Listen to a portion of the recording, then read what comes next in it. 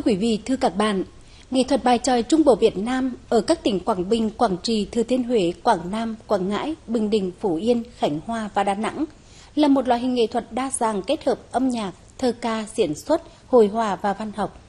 Nghệ thuật bài tròi là một hoạt động văn hóa trong cộng đồng làng xã, đáp ứng nhu cầu giải trí và thưởng thức nghệ thuật của cộng đồng. Với những giá trị của trò diễn xưởng dân gian đầy sáng tạo này, nghệ thuật bài tròi Trung Bộ Việt Nam đã được UNESCO công nhận là di sản văn hóa phi vật thể đại diện của nhân loại.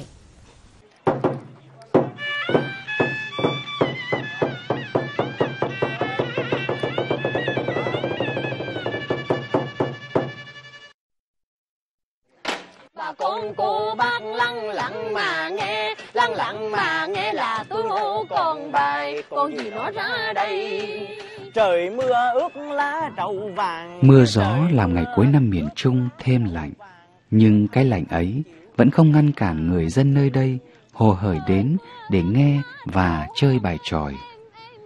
Bởi nghệ thuật ca và chơi dân gian này đã gặp được người tri âm tri kỷ để khi hòa mình vào không gian nghệ thuật bài tròi, con người ta được giao hòa với nhau qua những ân khúc nặng tình xứ sở, núi sông, biển cả, ao hồ, không gian sống của người miền Trung.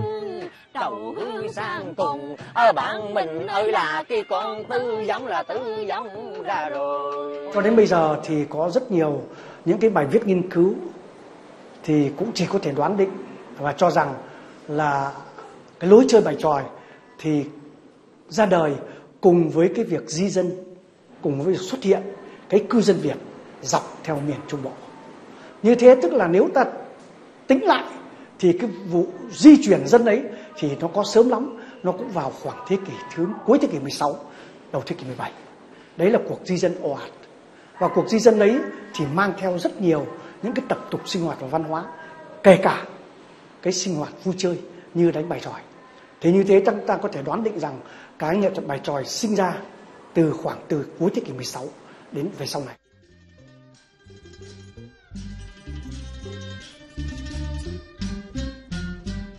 Đứng ở góc độ địa lý văn hóa thì miền Trung Nam Bộ có thế mạnh của vùng duyên hải với bờ biển, sông ngòi, đầm hồ nhiều.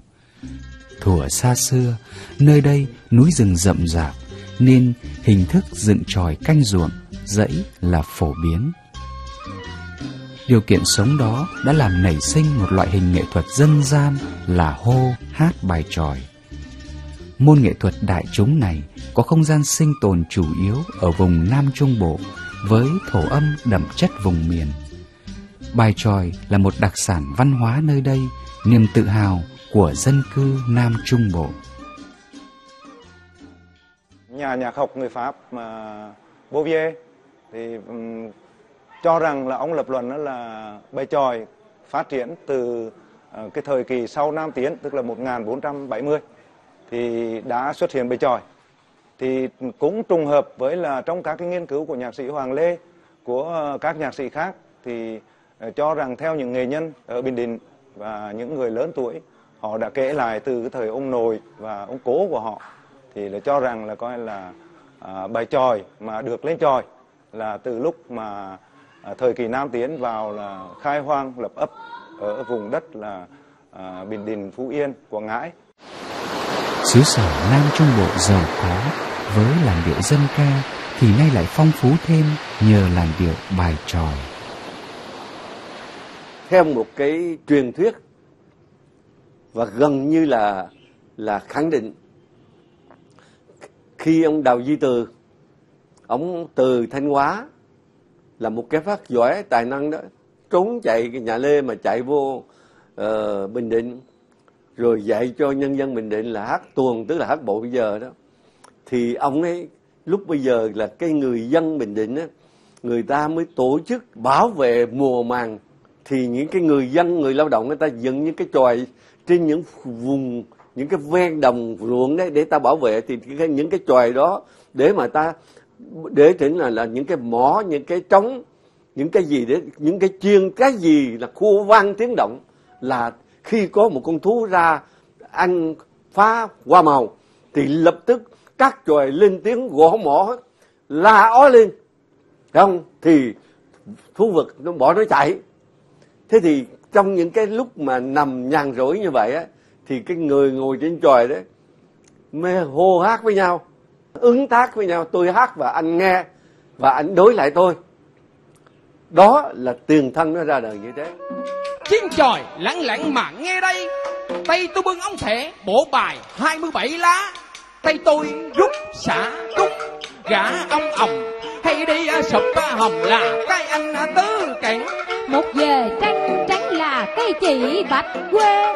Anh cận nằm kề là Cái anh chín gối Ba chìm bảy nổi là cây chỉ xấu ghe Lập bản lập bè là Cái anh năm dụm Hay đùm hay túm tứ sách mà đã quen Quần áo lèn ten nhì nghèo mà cực khổ Có rất nhiều nhà nghiên cứu cho rằng cái con bài thai đấy, cái hình vẽ của con bài thai đấy là nó ảnh hưởng của cái văn hóa trăm. Nó là một thứ hình họa mà ảnh hưởng của cái nghệ thuật siêu thực. Nhưng theo nghiên cứu của tôi thì nó cũng không thiếu siêu thực và tôi cũng chưa tìm ra những cái chi tiết văn hóa trăm ở trong cái bộ bài tới. Cái bộ bài này gọi là bộ bài tới, bởi vì nó xuất phát từ lối chơi bài mà trải chiếu 6 người ngồi chơi gọi là bộ bài tới. Thì sau khi nghiên cứu bộ bài tới đấy, thì cái bộ bài tới đấy nó hoàn toàn phản ánh cái đời sống thật của người dân vào trong con bạc Ngạnh có ngà là cái anh tứ tượng Phủ màn treo trướng là cây chỉ tán dần. Trong trò chơi bài tròi có nhân vật anh Hiệu, chị Hiệu đóng vai trò rất quan trọng là linh hồn của cuộc chơi. Ngay tam quanh cái thiệt giỏi. Khen ai khéo gói bánh hai ngọt ngon. Mặt đỏ như son cứu điều mà sạch sợ Anh Hiệu có bao nhiêu người thì do làng mời. Cái, cái cuộc chơi đấy kéo dài bao nhiêu thì cần cái số anh Hiệu bấy nhiêu. Bởi vì không có anh Hiệu nào hát suốt buổi sáng được. Cái việc mà tổ chức bao nhiêu anh Hiệu là do cái khả năng anh Hiệu ở cái vùng đấy đông hay là và cũng nhiều khi người ta mời anh Hiệu ở những vùng khác. Thì mỗi một buổi chơi bài tròi đấy thường có từ 4 đến 5 anh Hiệu thay phiên nhau hát. Còn dàn nhạc chủ yếu cái kèn, cái nhị và cái trống chiến. Có ba nhạc cụ ấy thôi. Ba nhạc cụ là chủ chốt. Cái kèn thì chỉ làm việc khai cuộc thôi. Và tấu nhạc vào những cái lúc mà người ta dâng cái đồ thưởng cho các tròi. Còn khi vào ca hát thì chỉ có cái chống chiến và cây nhị thôi. Vui xuân với hội bài tròi, Nói lên bản sắc quê tôi đậm đà Chính tròi đã lên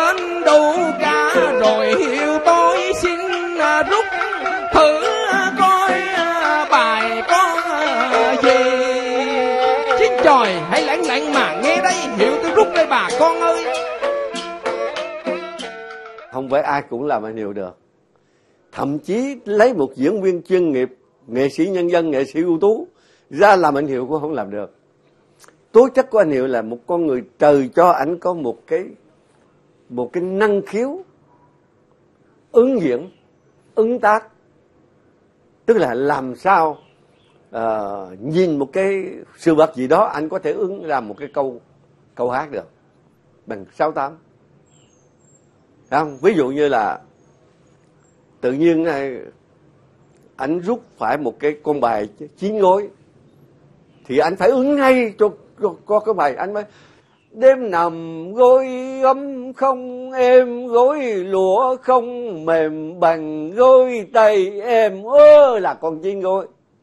Thì lập tức anh phải ứng anh nghĩ ra trong dân gian có cái câu đó thì anh ứng ra chứ không có bài bản gì cả.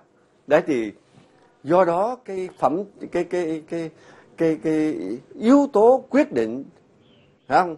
Cái tố chất để mà quyết định cho cái người anh hiệu đó là sự thông minh và năng khiếu. Năng khiếu là năng khiếu sáng tác kịp thời đó.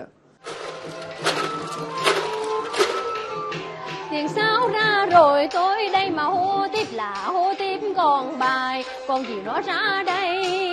Tiếng đồn em bầu mặn mà nét na duyên dáng thiệt là mầm sinh Anh Hiệu, chị Hiệu thường phải là người có vốn liếng, lời ca phong phú, ứng đối linh hoạt, thần sắc láu lình, nhanh nhẹn, dẫn dắt cầm trịch cuộc chơi bài tròi trong mỗi lần ra câu hát, câu thai.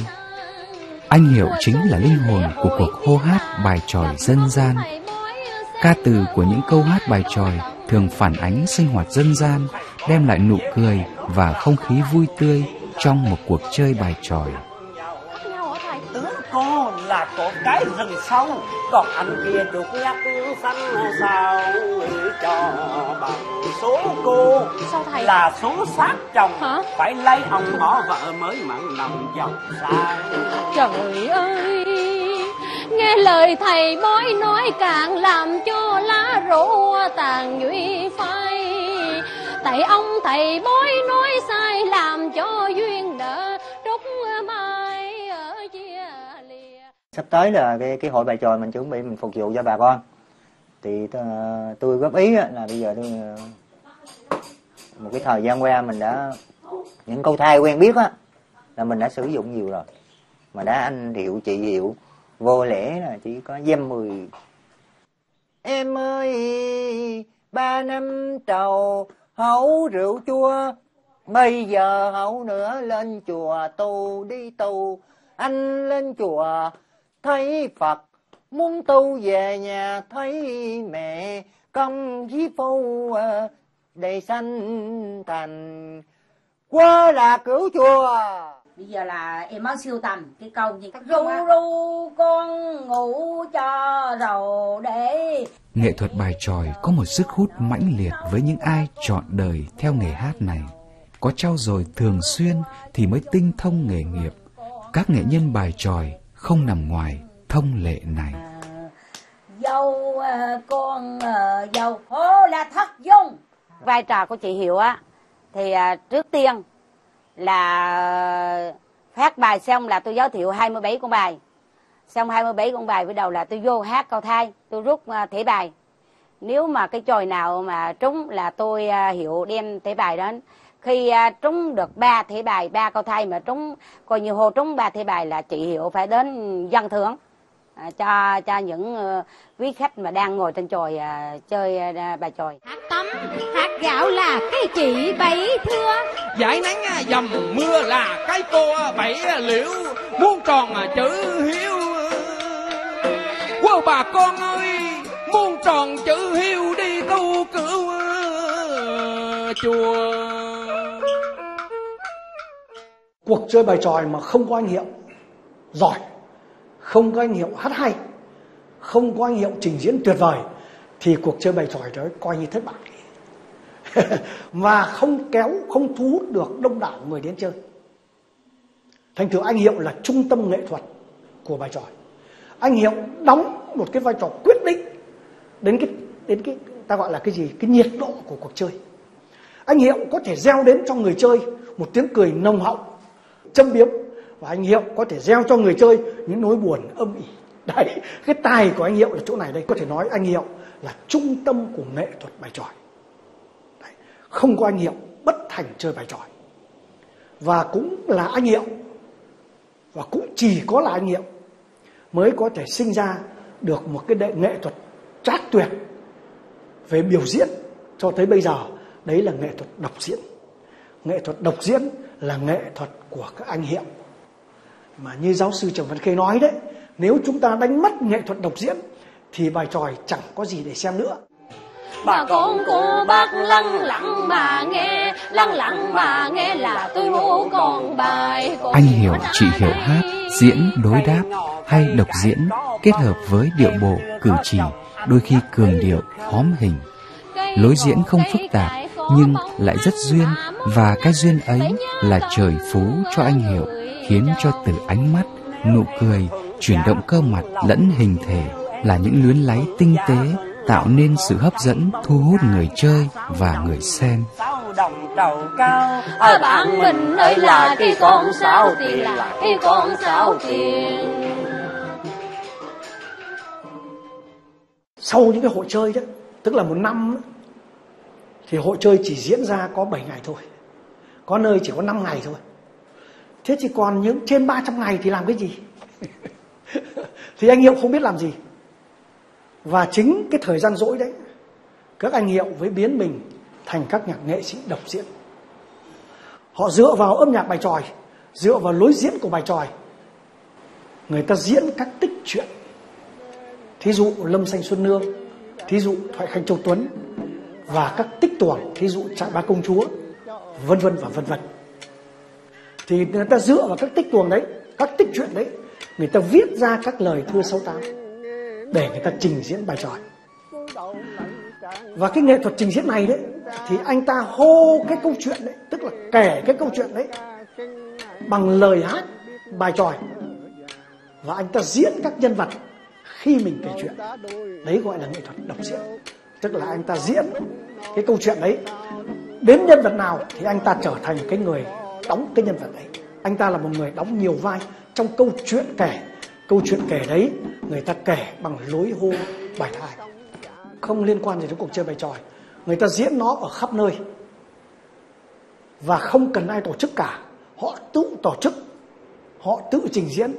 Bà con tự đến xem người ta trình diễn nó ở sân nhà, nếu bạn muốn mời họ đến nhà, diễn xem chơi. Người ta có thể trình diễn ở sân đình, người ta có thể diễn ở chợ. Cái nghệ thuật đấy nó trở thành nhu cầu không thể thiếu trong cái đời sống của người dân miền Trung ở một thời rất xa xưa. Con quy trách đỡ vô kinh lâm nàng nên phải những nghệ nhân bài tròi dân gian là hình ảnh quen thuộc chốn làng quê miền Trung.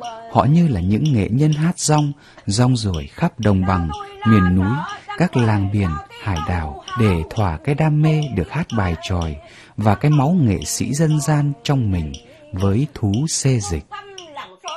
chồng tôi phải chịu lòn lắm khen khi buồn rót trang bờ khuyên tim lời an ủi cho dư yên khi lòng trang Cụ nghệ nhân Lê Thị Đào nay đã đến ngưỡng cửu thập 90 tuổi nhưng vẫn sẵn sàng đi hát bài tròi khi có nơi mời. Cụ là di sản sống huyền thoại của nghệ thuật bài tròi dân gian Bình Định. Người sướng ca giàu nỗi niềm ưu tư thân phận, một đời hát nhiều khi lại mượn tuồng tích xưa mà gửi gắm trong những đoạn độc diễn.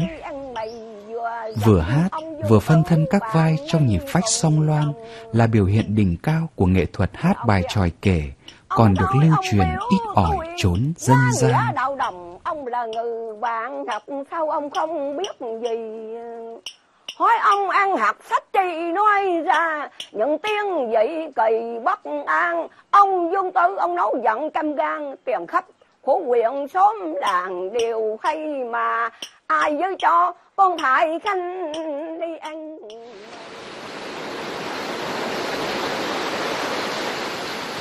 Nhân dân ở ở vùng biển mà người ta rất mê bài trò. À, bởi vì cái lao động ra người ta làm kéo kéo lưới đó người ta cũng hát bài tòa những cái câu mà rất đơn giản. Ví dụ như là ngồi ở trên nghe là à, họ à sáng trăng anh đánh cá ve em ngồi bụi dứa em nghe hát hò. Đơn giản mà họ tự sáng tác thôi. Nhưng mà thấy là kéo lưới thì ở trên này cũng có êm trên này. Người ở trong này cũng kéo. À thì thấy là tự nhiên cái cái cái, cái đời sống bà trò nó đi sâu vào tâm hồn người dân biển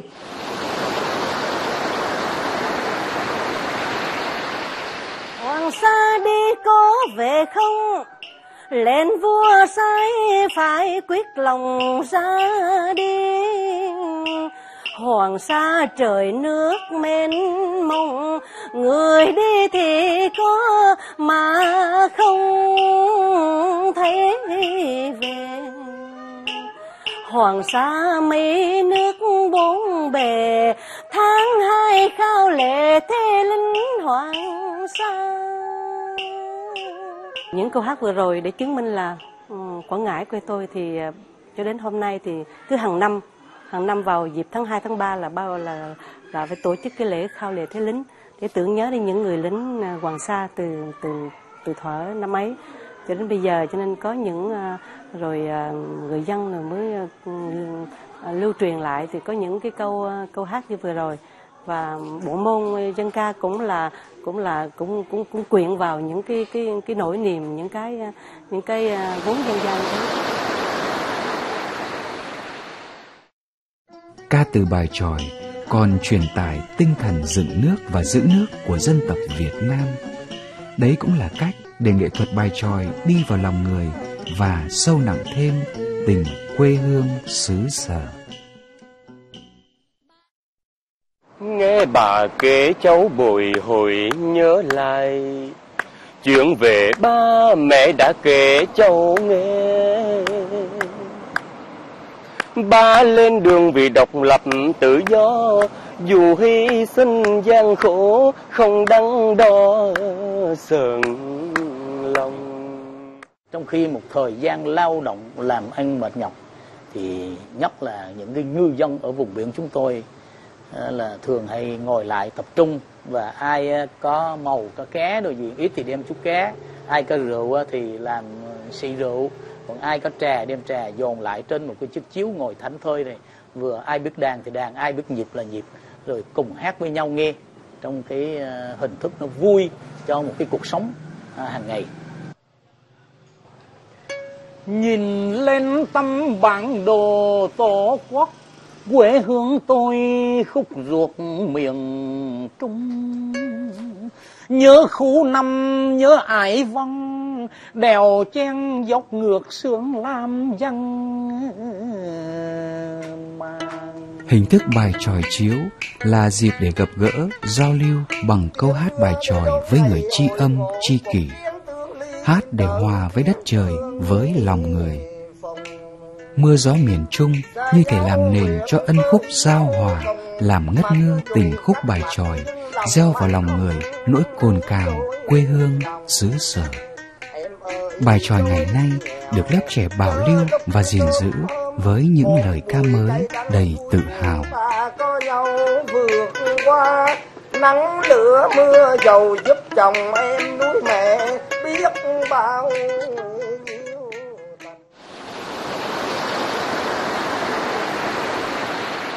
tôi nhớ lại ờ, có một ờ, kỷ niệm khi mà tôi đưa ờ, một nhóm xung kích đi chuyển gọi là điểm sát biên phòng đó. Sau chúng tôi ghé lại một nhà, thấy một nhà tép đây vậy đó, thấy cũng bốn năm cụ già đang ngồi sàn tép thế này, thì chúng tôi cũng vào gạ mưa nói mua ít gì làm quà thôi, thì mấy cụ cũng không bán. Thì tôi mới tình cờ tôi nói rằng đêm hôm qua chúng con diễn là mấy má mấy cô xem có được không? Thì có một bà cụ bà quay lại, bà nói ừ, ừ, cô quý yêu à? Diễn thì chảy cứ múa múa nhảy nhảy không, bọn tao coi cũng được. Tôi mới hỏi, thưa mấy má, thích diễn cái gì? Họ nói thì hát bậu bài tròi. Nhưng thôi bây giờ đó cũng hát một câu nha. Hát một câu để trả lễ. Thì mấy bạn quay lại nói, chú mày biết hát bài tròi phải không? Nó dạ biết. Nói, hát đi hát đi nếu tao nghe được tao thưởng. Cho nên tôi mới chọn một đoạn là xuân nương. Mẹ ơi, nghèo hèn biết tính liệu sao? Đó đầy chi bay trời cao đất dài kêu ai? Ai thấu cho ai? Tổ tiên qua trước kiếp này sau nàng sau thôi mẹ về đi. Về lo mâm mà rượu rồi nó thấy trầu cái là mấy bà vô tay tròn coi xuống bước hay quá. Lại đâu thưởng, tôi mới đưa cái bao ra. Rồi lại bắt bấm tép. Và cứ thế tôi hát, cứ thế tôi hát và tiếp tục hát tới khi xong cái đoạn hát của tôi là cái bao 50 kg là đầy cả một bao tép. Thì ở đây muốn nói lên điều thế này là cái tâm tư cái tình cảm và cái cái mà hâm mộ cái cái sức sống của bài tròi nó rất mãnh liệt. Nó không có hào nhoáng nó không có bóng bấy như các đoàn chuyên nghiệp ra sân khấu nhưng mà nó đi sâu vào trong lòng quần chúng nhân dân và được nhân dân nuôi dưỡng và từng lớp từng lớp từng lớp. Dưới cơn mưa miền Trung, lòng người dân dường như xốn sang và ấm lòng khi họ nghe xuyên qua vòng lá kia vẳng ra những làn điệu xuân nữ sàng xê của bản từ một lớp học dân dã. Nghệ nhân Nguyễn Đình Thản, người Phú Yên, là người nhen lửa và nuôi dưỡng bầu nhiệt huyết và niềm đam mê bài tròi truyền thống cho các em học sinh.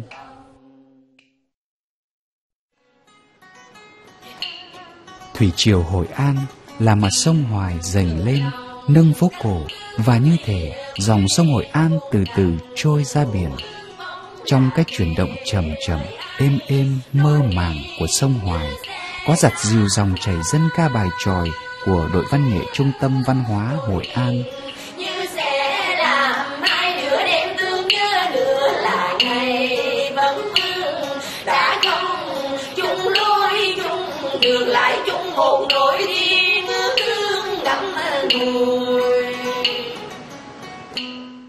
đây khoảng ờ, gần 20 năm thì bài tròi Hội An ờ, trò chơi bài tròi Hội An nó chưa có phát triển. Chỉ ờ, lác đác là đến mỗi dịp xuân về thì tại thành phố hoặc là cơ sở tổ chức những cái nhóm chơi bài tròi nhưng mà cũng dấu hiệu của lụi tàn là thấy rồi. Nhưng mà rất là may là đến cuối thập niên 80 của thế kỷ trước thì Hội An bắt đầu mới đưa trò chơi bài tròi vào trong cái đêm phố cổ. Phải nói đó là một cái dấu mốc mà thể hiện cái sự sống dậy bài tròi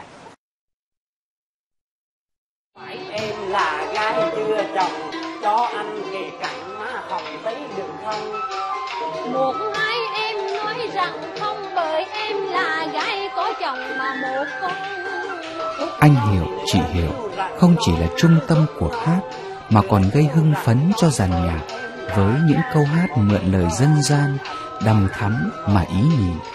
Ở đây, hát đối đáp và giao duyên cũng ân tình làm sao.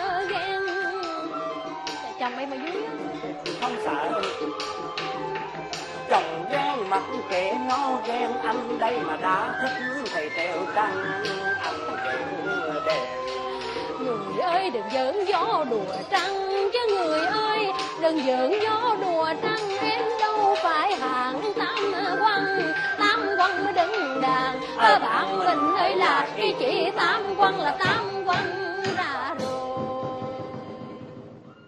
Bài tròi là một sáng tạo dân gian sáng tạo độc đáo và mang cái bản sắc riêng biệt nhất ở miền Nam Trung Bộ. Ta có thể so sánh ra thế này đấy đâu. Nếu ở Nam Bộ ta coi uh, đường ca tài tử là một nét đặc sắc của Nam Bộ thì ở vùng Liên Khu Năm là bài tròi một nét đặc sắc độc đáo của Liên Khu Năm. Xuân về bướm lượng ngàn hoa muôn chim ríu rít hát ca vang trời Wow bà con ơi muôn tròn Làn điệu và ca từ bài tròi lúc vui, lúc buồn, khi đầy tâm trạng đã diễn tả những cung bậc tâm hồn của người dân Nam Trung Bộ. Xuất xứ từ dân gian, bài tròi có vị trí và chỗ đứng bắt dễ sâu trong đời sống dân gian. Bất luận ở đâu, khi lời nói không diễn tả hết, thì người ta hát và bài tròi sinh ra để nói hộ tiếng lòng của cư dân nơi đây bằng những lời ca ân tình sẻ chia đường đường dư vị đất trời của những sao xuyến mưa nắng miền Trung. hiểu giữ bài tỳ đơn em